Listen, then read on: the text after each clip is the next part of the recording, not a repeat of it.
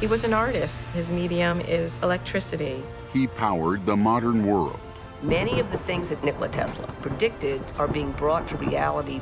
The transmission of pictures and sound real time. But his visionary genius would lead to his downfall.